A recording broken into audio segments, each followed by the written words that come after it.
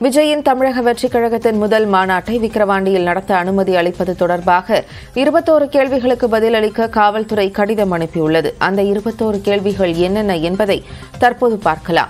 தமிழக வெற்றிக் கழகத்தின் முதல் மாநில மாநாட்டை விக்கிரவாண்டியில் வரும் இருபத்தி மூன்றாம் தேதி நடத்த அனுமதி கேட்டு அக்கட்சியின் பொதுச் செயலாளர் புசி ஆனந்த் காவல்துறையிடம் மனு அளித்திருந்தார். இந்நிலையில் மாநாடு முன்னேற்பாடுகள் தொடர்பாக இருபத்தோரு கேள்விகளை தமிழக வெற்றிக் கழகத்திடம் காவல்துறை கேட்டுள்ளது.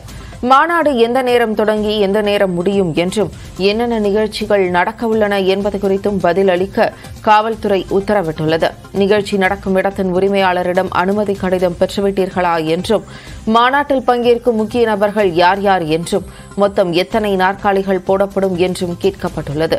எத்தனை பேனர்கள் எத்தனை அலங்கார வளைவுகள் வைக்கப்பட உள்ளன பந்தல் ஒலிபெருக்கி ஒப்பந்ததாரர் பெயர்கள் என்ன ஆண் பெண் முதியவர்கள் என பிரிவு வாரியாக எத்தனை பேர் வருவார்கள் எந்தெந்த மாவட்டங்களிலிருந்து யாருடைய தலைமையில் வருவார்கள் என்று காவல்துறை கேட்டுள்ளது. எத்தனை வாகனங்கள் என்னென்ன வகையில் வரும் என்றும் பெண்கள் குழந்தைகளுக்கான பாதுகாப்பு ஏற்பாடுகள் என்னென்ன என்றும் கேள்வி எழுப்பப்பட்டுள்ளது. குடிநீர் கழிப்பிட வசதிகளுக்கு என்ன ஏற்பாடு உணவு சமைத்தால் அல்லது பொட்டலம் மூலம் விநியோகமா தீ விபத்தை தடுக்க என்ன நடவடிக்கை ஆம்புலன்ஸ் ஏற்பாடு செய்யப்பட்டுள்ளதா ஆகிய கேள்விகளையும் காவல்துறை கேட்டுள்ளது. மாநாட்டுக்கு மின்சாரம் எந்த வகையில் எடுக்கப்படுகிறது என்பது குறித்து பதிலளிக்கவும் தமிழக வெற்றிக் கழகத்திற்கு காவல்துறை அறிவுறுத்தியுள்ளது. இந்த கேள்விகளுக்கு ஐந்து நாட்களில் பதிலளிக்க உத்தரவிட்டுள்ளதாகவும் தகவல் வெளியாகியுள்ளது.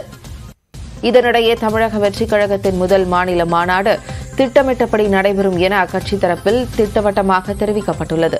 மாநாடு குறித்து பல்வேறு குழப்பமான தகவல்கள் வெளியான நிலையில் முதற்கட்ட பணிகள் அனைத்தும் முழுவீச்சில் நடப்பதாக அக்கட்சி தரப்பில் கூறப்பட்டுள்ளது.